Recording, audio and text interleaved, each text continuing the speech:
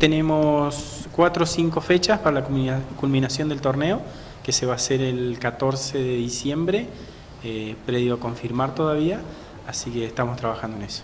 No, Johnny, el balance de este año de trabajo en donde han tenido que incluso jugar con condiciones climáticas adversas, al aire libre, ¿cómo, cómo es el balance en general de, los clubes para que participen?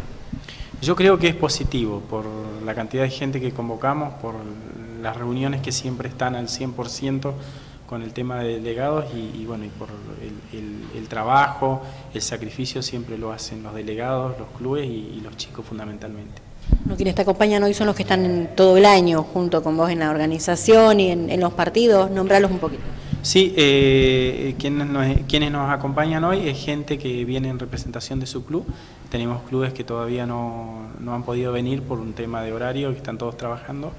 Así que tenemos la gente del refugio, tenemos la gente del Club Güemes, eh, Frontera del Agua Pueblo, el Deportivo Cristal, Atlético Patagonia, eh, el sacrificio enorme de la gente de Ñorquinco que llegó, eh, la gente de Costanera y el director de deporte. Hay clubes que son más conocidos, otros que son más nuevos y que tienen poca experiencia y que van creciendo de alguna manera en este torneo. ¿Cómo es el balance de los chiquitos, de los pequeños, en las categorías? ¿Cómo ha sido este crecimiento según vos lo ves? Este crecimiento ha sido duro. Eh, por eso nosotros trabajamos en un reglamento este, que ampara no solamente a los clubes grandes, sino a los clubes este, que recién se están iniciando, que tienen muy pocos chicos.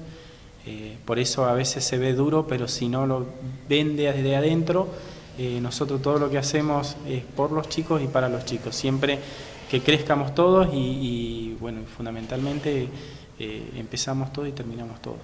Uno los ve aquí reunidos a los dirigentes. ¿Cuántos chicos suman en total a la hora de, por ejemplo, hacer una fiesta o una convocatoria en general? Y nosotros comprendemos entre los 1.200 y 1.500 chicos, más o menos, en el campeonato. Eh, a eso hay que agregarle bueno, los padres que acompañan, los delegados y toda la gente del club. La experiencia, Nelly, ¿cuántos años acompañando el fútbol infantil, viendo crecer a los chicos mientras juegan a la pelota? Bastante, ya más de 20. Este, feliz la experiencia, viste, se sumaron muchos clubes, que eso está bueno, los chicos están contenidos y lo principal que la liga eh, volvió a resurgir después de tantos años que estaba media en stand-by pero bueno, eh, ya conformamos la liga, ya estamos con los papeles este, en trámite y eso es bueno, es bueno para todos porque bueno, eh, teniendo una liga somos más fuertes en ese sentido de poder este, expandirnos eh, o pedir apoyo o cosas porque ya somos una liga. Y felices con los clubes y acá a Matías Gersi que nos ha ayudado muchísimo y tanto a Johnny, a la dirección de deporte, a todos agradecidos porque bueno, eh, la verdad que tuvimos un acompañamiento todo el año. ¿Qué pasa con los espacios para jugar? ¿Cómo se organizan este tipo de cosas? Bueno, los espacios son escasos, pero bueno, con la buena voluntad de la gente, de la gente que tiene canchas y que siempre están disponibles.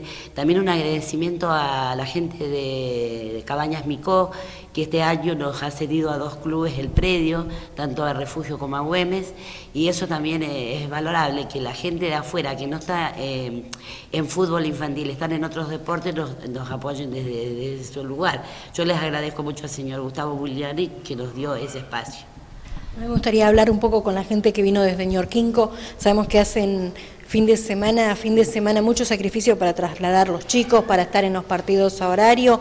Bueno, soy el delegado y técnico del equipo de, de Ñorquinco, en el cual estamos jugando con una sola categoría por el momento y sí, se nos hace complicado viajar, pero se puede, con esfuerzo se puede. ¿Cuántos chicos están participando? ¿Cómo se organizan? ¿Quién nos apoya en todo esto? Eh, tenemos, tengo 13 chicos, categoría 98-99.